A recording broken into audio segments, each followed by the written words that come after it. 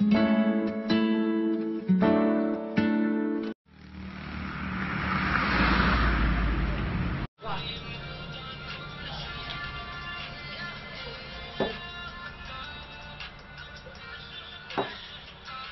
nang pulutan.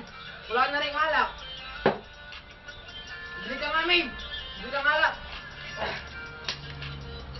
Tayo? Ano ba yung ipapangalan natin sa anak natin, no? Michael na lang para maganda. Hmm, mas bagay siguro pag isusunod sa pangalan mo, Pipito Junior. Di ba? Pangit naman.